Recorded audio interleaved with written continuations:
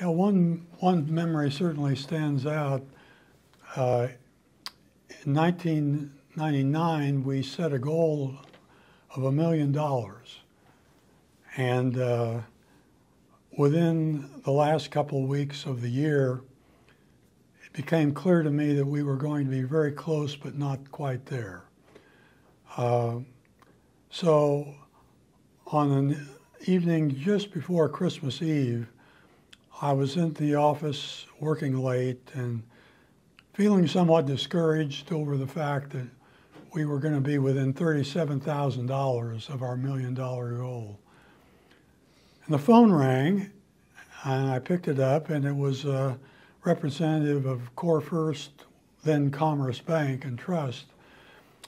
And uh, we'd been aware that we had a major donor uh, actually both of them, Hazel and Robert Lingo, were there at the uh, at the right time to be part of their estate plan.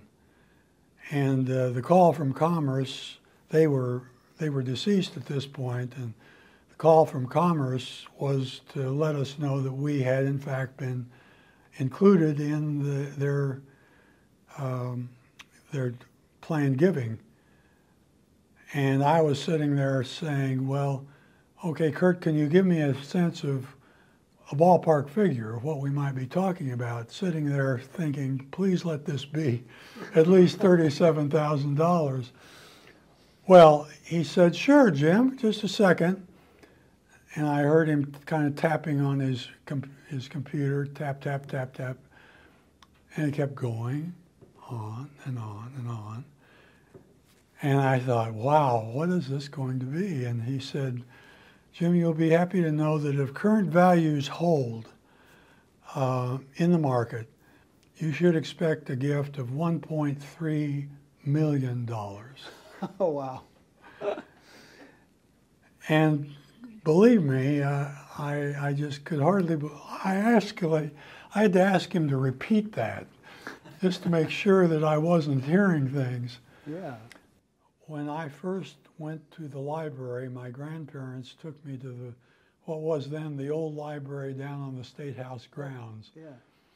And uh, I think about, wow, we have really come a long way uh, since those days um, when, when you had, you were only allowed, I think, to, even if you were a kid, you were only allowed to check out maybe two books. And.